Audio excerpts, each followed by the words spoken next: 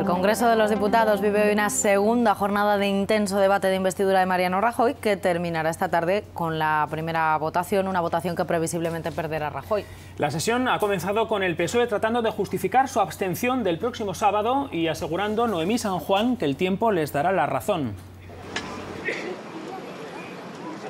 Abstención no es resignación, pero sí la única vía para evitar unas terceras elecciones y para volver a construir una alternativa mayoritaria. Así lo ha dicho el portavoz del Partido Socialista, Antonio Hernando, también que le sobran las razones para no confiar en Mariano Rajoy, pero que no hay ningún motivo para mantener el bloqueo político y por eso han tomado la difícil decisión de abstenerse.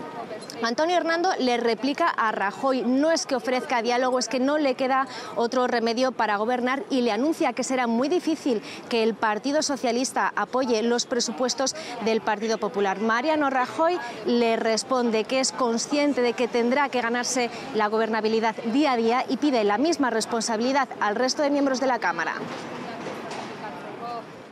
El portavoz socialista ha comenzado reivindicando la historia y la responsabilidad de su partido para justificar la abstención.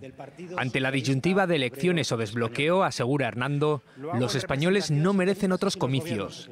Mariano Rajoy coincide en la necesidad de formar gobierno, aunque le pudieran beneficiar otras votaciones, y ha reclamado también estabilidad para el futuro. Usted no nos gusta como presidente del gobierno, porque no nos gustan sus políticas pero sí nos gusta este país. Nos sobran las razones para no confiar en usted, pero no hay razón para mantener el bloqueo político y llevar a los españoles a unas terceras elecciones. Y la misma responsabilidad por la que hoy algunos se van a abstener, hoy o el sábado, cabe exigirla para el futuro, porque si no, España no podrá tener un gobierno donde se tomen decisiones que beneficien al conjunto de los españoles. Para Hernando, el Congreso impondrá el diálogo a Rajoy y advierte que no permitirán seguir con las políticas que han traído tanto sufrimiento. Rajoy se ha mostrado abierto al diálogo con dos límites, la estabilidad presupuestaria y las medidas que, según él, han iniciado la recuperación y la creación de empleo. Usted no tiene ni nuestra confianza ni nuestro apoyo, máxime después de haberle escuchado ayer por la tarde. Que nuestra voluntad es darle la vuelta a estas políticas, haciendo valer la composición de la Cámara para cambiarlas. Permítame, señor Hernando, que yo defienda una gestión que ha sido exitosa y por eso defienda, porque tengo que hacerlo, la continuidad de las políticas económicas que se han puesto en marcha, no por un prejuicio mío, sino porque creo que han sido positivas.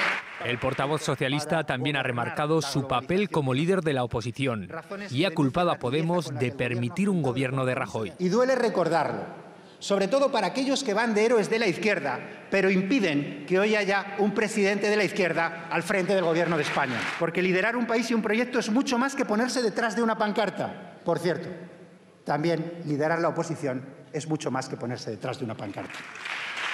Antonio Hernando cree que el tiempo les dará la razón por una abstención que ha vuelto a evidenciar la tensión interna en el partido. Muchos críticos no han aplaudido sus palabras, entre ellos Pedro Sánchez, quien apenas ha levantado su mirada, aunque sí se ha sumado a la ovación final al portavoz socialista.